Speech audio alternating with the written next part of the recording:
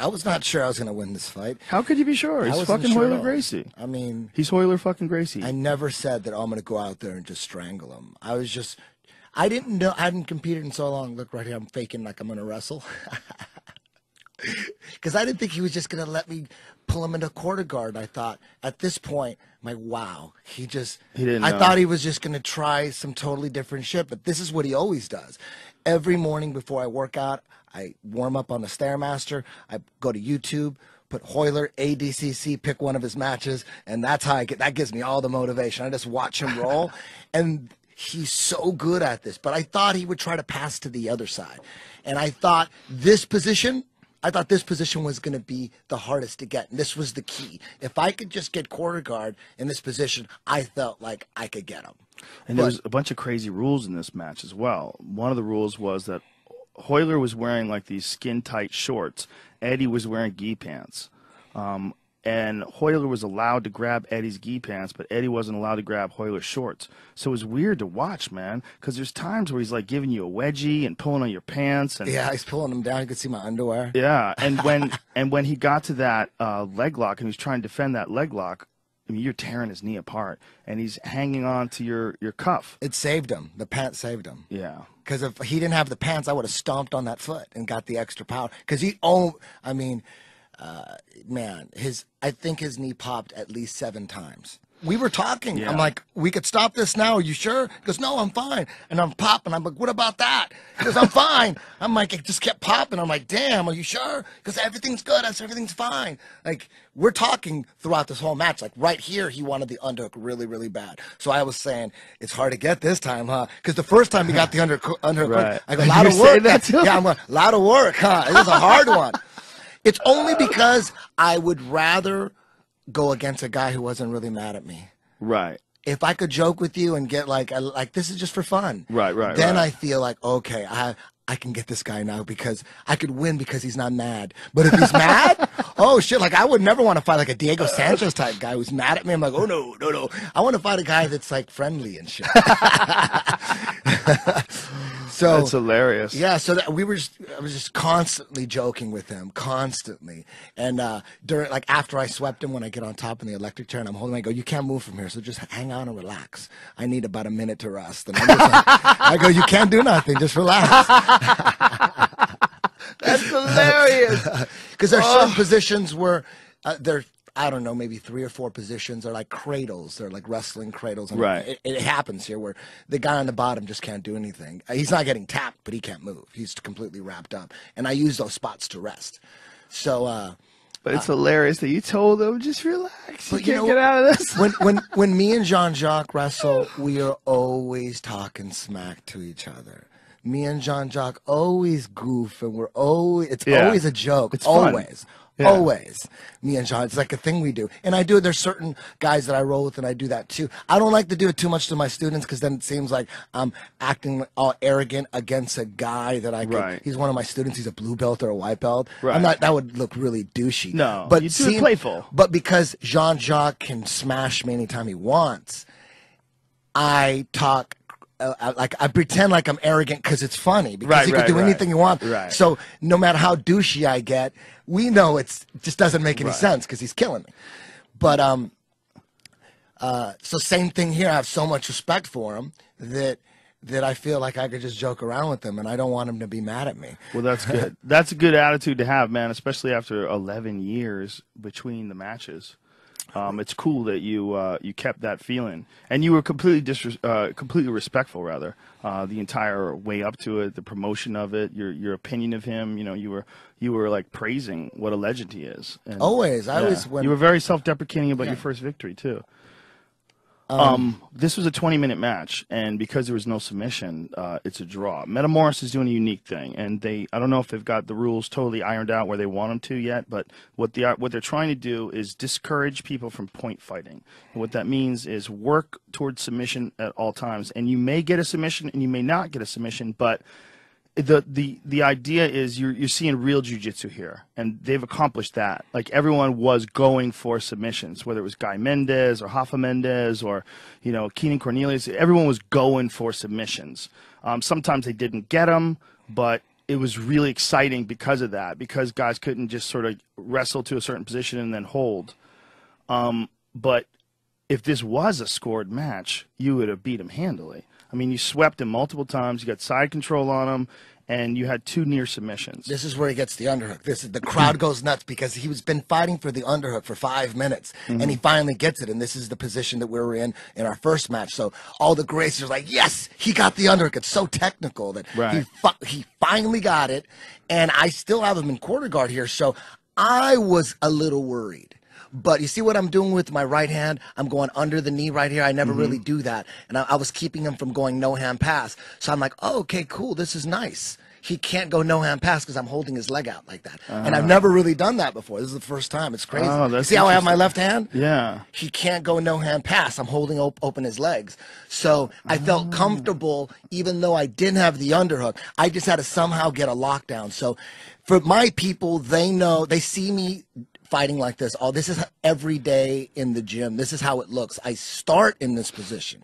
This is how it looks. So to the Gracie side, they probably thought he was uh, winning right here. Like Exactly. my mom was freaking out. My mom thought he was killing me. This at this moment you got the lockdown. Somewhere in here you got the lockdown.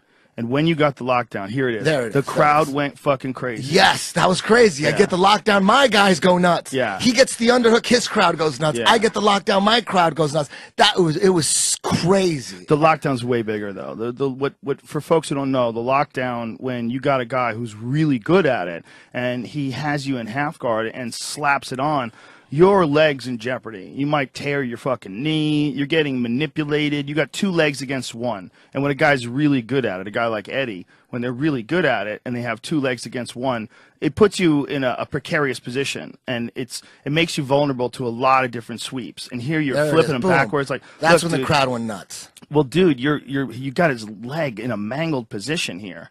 His electric chair right Yeah. here. I didn't think this was the plan. The plan was exactly what happened. That was the plan. I was going to go just do what I do at the gym every night. Mm-hmm. This is exactly what I do every night. This is nothing new. It wasn't a special strategy for Royler. So that was Jean Jacques's whole plan is to get me to do what I normally do, the best shit I'm, I'm at, uh, to, to do it out there on him. And then he reversed you for a I- second. That was only to get the. I didn't have the leg on my shoulder, so I go, let's go back and boom and get it. So it looked like he swept me, but I went back to put that leg back on my shoulder, and I went rocked right back up. Ah. So people thought he's. I'm like, dude, I do it all the time, you know. So now I'm in a position. This is Oh, where so I'm- you rocked it with momentum because you had full control over that yeah. leg. It was, just wasn't on my shoulder. I had to go back and scoop it up. So now I'm on top, and now I'm on, uh, I'm in the electric chair on top, and this is where I'm talking to him. I'm like, you can't do anything here. Just relax. This is where I rest. I went through a lot of explosion, and I rest right here. I have control of his And look at this. That's why he was doing that thing with his hands because people were wondering, like, why is he throwing his hands up in the air? Like, you know, like he did that a couple of times when you got him into side control. Yeah, he did that. And then I passed the guard, boom, and right here, I'm I'm still he's still stuck. I got him in a cradle. But that makes sense now because everybody wondered why he was doing that with his hands. People were like, oh, Royler was complaining. No, he's complaining because you were talking shit to him. Yeah. You were saying you're stuck here. Don't, and, don't and, may- move. and maybe he was saying, "Well, I can't do nothing." He's holding me. He's Right, holding. me. right, Like right, this right. Jujitsu. We're holding. We're, squi- we're we're clenching and squeezing. Right. You know, and he's all like, "How could he complain about that? He's totally immobile here." Even Yeah. though I pass, I pass, I let go of the lockdown and passed his guard. The reason why the pass was guaranteed is because of the control I have on his leg. I have a head and arm and the leg, so that pass was easy. As soon as I let go of the lockdown, didn't want to let it go until I rest a little bit, and then finally I let go of the leg last, and now I'm in side control. And here's the big transition. I thought he was going to turn into me, but he turns away. So I'm like, ooh, that's even easier. But he's rolling in a nice way. But I had to turn it into a hundred percent here. So this is halfway. This is a, a neck crank that I do to get the guy to give me his back. So I'm neck cranking him here, and if he pulls his left arm all the way out, um, I usually transition to the back, and that's what he did right there. So now I'm getting up, and his left arm's free now. So all I got to do is get up on my right knee and then swirl to the back. That's what I'm going to do here. I wanted the twister. That was the plan. The plan was to get him in a twister, but he did a really good job of just shrugging me off. So now I got to start over again. So at this point, I'm thinking, this is what I'm really thinking. Um, I thought the most important thing is for me is to go out there and not get smoked and not get tapped in 20 seconds or 30 seconds because that would be that would crush me. That would be the worst possible thing. So let's make sure that doesn't happen. And if I lose, if I tap, at least let me go out there and give. We have 20 minutes. Let's see some good 10 planet techniques for my people just to show that it works. If he taps, so at this point, I'm thinking I did so much to him right there. Textbook 10 planet shit all the way through, note for note, that I thought if he the worst case scenario if he taps me in one second at least i got some good shit in. So in my mind in my mind because that's how much respect i have for him. Right, right, i'm like he could still get me. I'm not over. We got like 13 minutes. So in my mind i already won. I go i won. So when you think that way and you're i thought i, I, I already did all this shit. So the worst case scenario he taps me out I did a good job. So for some reason, that made me just want to attack him more and go, let's just keep putting, let's just keep pounding up. Oh, here's another one. Damn, and see if I could do another one. Oh, here's another one. And I just changed shit. I go, damn, I'm not going to go for a twister. I'm going to go for a vaporizer. So when I, when I get him in an electric chair and he doesn't tap, when I test his flexibility, if they don't tap, I can just sweep them and get on top and set them up for a twister, which I already tried. But I made the decision. I go, you know what? There's a lot. He's pretty good at shaking me off the back. If I just go to the vaporizer, it'll look just as cool as a twister. And I do it all the time, and that's good enough. So that was the plan. I go, he's not stopping the electric chair, so I'm gonna go back and get another another. I thought about rubber guard for a second there, and I thought, you know what? You see how I got the underhook? Uh-huh. You see that? I went rubber guard, lockdown, whipped him. He had the underhook, but that whip, boom, I sucked him around, bam. That's a little whip down combo. A very important combo to master. And now I got the underhook, so I thought he's not stopping the electric chair tonight because if he would have been able to, he can. Or I, I, I'm able to do electric chairs easy, so I knew I could just go back and more money in the bank. I knew he couldn't stop it. He just was perplexed here. So I go, you know what? I'm I got to go to the vaporizer here, I, that, which means I got to get his leg t- over to my left shoulder on the other side. I need to get my head. I want need. I just need to squash his leg down and, and get on top in a. A leg drag type position, but a leg drag with a lockdown to maintain control. So right now, I go back to the electric chair for the third or fourth time, and I was really confident at this point. I just knew he wasn't going to tap from the electric chair, and I didn't want to pass his guard, get on top, and try the twister. I already made the decision. So I for folks who don't know what we're talking about here, the electric chair is a move where you got a guy literally in a full split, and he, you're controlling his bottom leg, and the other leg you're you're forcing it up towards his head. Most people don't have the flexibility to tolerate it, and a lot of times they tap just from that. You're like literally ripping their crotch apart. Yeah, and and right here, you know what? I didn't get I didn't get the position I wanted, so I'm letting him get on top so I can set it up again. I go, he cannot stop it. He can't stop my underhooks. I already knew I had him beat on the inside, so I'm gonna I'm gonna set it up again and go back to the because I wanted the vaporizer. He foiled the vaporizer. I lost control of his leg, so I got to start over again. So all of these times where he's on top, where the audience is like, "Oh, the tide has shifted back and forth," this is just you resetting. dude, he could not stop my half guard game. I was just the confidence just kept growing and growing. So even though he has the underhook, I go, watch, I'm gonna get the underhook back. I, I was already getting it back. There's no way you could stop it. it like look at that. See that boom whip down. I go, Yep. I'm just gonna keep doing it. He can't stop it. So and then I'm gonna start all over. I know he's not gonna be able to. He's not gonna shake the lockdown. The lockdown's too strong. He was never close to ever getting his leg out. I was so confident at this point. I was getting a little gassed, and um, I knew I could recover. All I needed was like a little time. So I, I'm I'm to to uh, hide uh, the the gassiness or the gassiness. Uh, The fact I, I would stop breathing. I'm dying inside, but I would stop breathing. You know, like when Jason walks into your house and you're in the closet and you're you're like, but then you go. Yeah. I was doing that just so he wouldn't smell. Now I did it again. I knew I could do it again. Now I got to get his leg to the other side. I don't want, look at it. See, I'm holding onto his leg. I need to get it to the other side of my body. Right. So I'm like, you know what? Damn, I lost it again. Let me, let me do it again. So look at that. I got to, let me do it again. They thought he reversed me, but I go, I'm just setting it up. Now I got the leg over right there. Boom. now that's where I want to be. That's the transition right there. And I go, I'm to go after his leg. I thought about it for a second there, but I go, no, you know what? I'm going to roll. I, I can't just reach back for it. I got to have set it up. I'm going to set it up right here, squash him down. I thought about it again, but then he stopped it right there.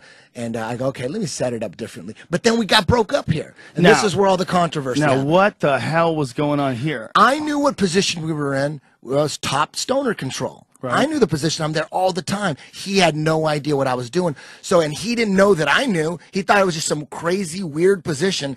And, uh, he didn't know where he was. And uh, I was, I was, see, I pulled guard right here and I was going to say, here, give me your leg. Let me throw it over. I'm going to get on top and we're going to go back and I show you exactly the whole thing. I was going to show it. I was going to do it from the top. See, I'm trying to do it uh, um, from step one. And then I was going to take him over and I was showing him the sweep instead of just getting in the position. He's all confused. He don't know what's going on. I'm trying to, I go, you got to get your leg over. Uh, uh, and he's not, he keeps refusing. I'm like, man, he's not letting me get in the position. And look, he's like, no, no, no. And he didn't know. Uh, in his defense, he didn't know the position, but I know exactly what's going on. He refuses to get in the position. And then I'm just thinking, I need to rest a little bit anyways. So this is bullshit. I'm not going to argue. Look, we're just arguing here. He won't let me. I know exactly. And I, then I thought, decided, fuck that. Fuck this shit. I'm not going to get fucked here. And the crowd was going nuts. They're yelling, replay, replay, replay, replay. And so Scott Nelson looks over right here. He looks over to Ralek and he goes, What do you want me to do, Ralek? Ralek said, Stand him up. Start standing. And when, look, he's going to walk over right now. And I said, What did he say? And then they put the replay on. He goes, Ralek said, Stand him up. He said, Stand him up. And I'm like, Fuck that. We're not standing up. And then the replay comes on and everybody looks at the replay and then Royler just gets down and gets into position. I go, look, look what the, I know what position's going on. So he let me have it. See, he said, okay. No, no resistance once the video came out. Yeah, you kept was, trying to sneak that left knee in. Yeah, yeah. And this is top stoner control right there. Right. There's stoner control from the back, and there's but he didn't have your wrists. He didn't have your wrists before. Well, it didn't break. matter. It didn't matter. None of this. What, what I want here is I want him to push me away because I'm going to dip and roll. I'm going to tuck and roll. But if he holds on to me, I can't tuck and roll if he holds on. So I got to make it look like I want to smash him and squeeze him because I could pass at any time. The pass is guaranteed. Do you want the for sure pass or do you want to try to tuck and roll and go for the kill right away and go after the vaporizer? And I thought I'm going right for the vaporizer. Fuck passing his guard and then he recovers half guard and all that shit. I wanted to go for the kill right here. So right now I'm on my side. I'm setting it up. I need to be up on my knees, but just all I do is need to get up. See, I'm getting up. All I got to do is really get on top. But I know I could get on top of him anytime I want. I know this position. I'm just way now. I'm on my knees. I collected some gas. I recovered. I, he can't get out. I'm in control here. His legs are all mangled. So what I want to do is turn to my right and roll on my left shoulder. But I, what I, am resting. All I'm doing is resting. I'm going to turn to my right, roll on my left shoulder, but I need him to push me. So I see. I'm I'm selling the fact that I want to squeeze him, and I want to see. See, and now he's pushing away. He bought it he bought the fact that I wanted to squeeze him. So this is what I always do. So now I'm gurgling, going, ah, ah, ah, like I hate this, like I hate this. But look, he's gonna help me. See how he helped me and he pushed me through. He pushed me through. Like he pushed you through, and now you got this. And I thought Yeah. for sure he was going to tap. This is the vaporizer. No one has ever not tapped to this. This is in my arsenal the nastiest leg lock. This is a it's a calf crank and it's a toe hold at the same time. And he can't protect himself with his other leg. His other leg is we're on his other leg, so his other leg is useless. I can use both my arms as opposed to the calf crank from the truck. The calf crank from the truck, you can't use both arms for fear of getting armbarred with one of them. The left, yeah. Yeah.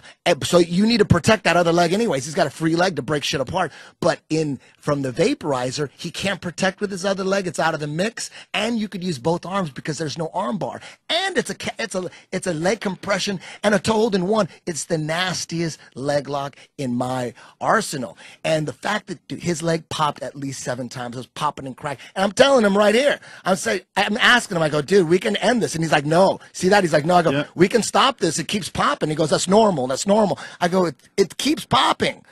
And uh, he refused to tap. He refused, man. And I was yanking. So I thought, I'm gonna. I was doing things I never did to that vaporizer. I usually just grab the toes with both hands, twist it, and pull, and it's really easy. And the calf crank from the truck. Another thing that you need, you need to stomp your left, the inside of your left foot with your right foot. You got to shove your leg deeper into the back of his Position. knee. Look how nasty that Yeah. looks. But in the calf crank, you need a stomp. In this one, you don't need a stomp. You could just keep your legs figure forward. Both arms, that's enough pressure. Just leave your legs figure four. But if for some crazy reason they don't tap like he did, then you would go to the stomp to add even more pressure. But he was holding the gi pant. So I could see he's, he's holding my right leg. I need to use my right foot and stomp on the inside of my left foot. I need to pull it up and stomp on it. And he that, can't get his hands free. I can't get my leg free. You see how he's holding it? Right. but I mean, his. So I decided, you know what? I'm just. I generally don't need to stomp on that foot, so I'm gonna still try to make him tap like everyone else taps without it. But see how he's holding it? So I grab his foot, I'm twisting it, and I thought there's like a, a minute left. I go, I'm gonna give it everything I got one more time, and I just grabbed his foot, something I never do, and I twisted it and shoved it, like try to shove it like in his ribs, man. And he still wouldn't tap, and you're this popping, and it's just he didn't care he just kept going. He knew that if he didn't tap, it would be a draw, and that's what he needed. He couldn't have you tap twice. He Yeah. tap him twice. Yeah, he has nothing. The fact that he's holding onto my gi pants there, that's what's saving him. You know, so he- crazy. Yeah, he's in some serious danger right here. If you had to do it again, would you do it with gi pants again? Yes, yes, because the gi pant made those electric chairs so easy. He could. He was never close to pulling his leg out of the lockdown. So uh, the traction yeah, is just yeah. unbelievable. I mean, the, the pants. The pants were bad for him in a lot of ways, but it saved him right here. In this one position. Yeah, it did save him. But I would, yeah, I would, uh, uh, I would have went back to pants anyways with that whole pant scandal thing. Um, It's I asked, I asked to wear pants. They said, okay, you can wear pants if you promise not to change your mind. I wanted to change my mind. They said, you promised not to change it. I and then so they made me wear what I asked for. So. Um, I met his lawyer. His lawyer, it ended up being really, really cool, man. The guy that was uh, trying to protect Royler from uh, the pant whole Oh, at that. situation. That's when you're twisting it. dude yeah i'm pushing down and trying to smash He's obviously twist. in some serious pain here, but it's incredible that he's not tapping. What do you think happened to the knee? If you had a guess, is there some damage? i don't know maybe maybe he his knee always pops and Well, that's, the thing normal. they say about him is that he won't tap to joint locks. Like, remember when uh, Sakuraba got him in that Kimura? Yeah. And uh, they stopped the fight, and he's like, "Don't stop the fight. I, I, I'm there all day. I'm fine."